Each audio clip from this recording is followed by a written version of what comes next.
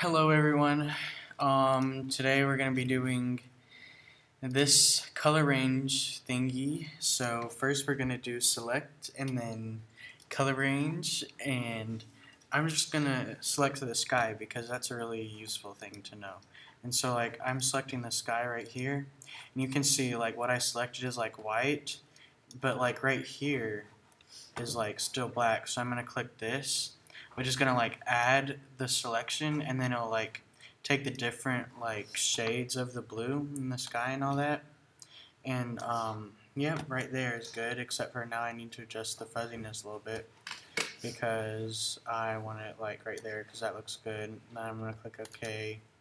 And then yeah I'm gonna click command delete and see look at that. Look at how useful that is. Okay bye